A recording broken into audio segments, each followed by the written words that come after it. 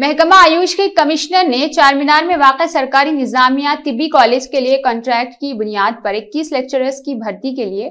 notification जारी किया दरख्वास्त जमा कराने की आखिरी तारीख 25 जनवरी शाम पांच बजे तक है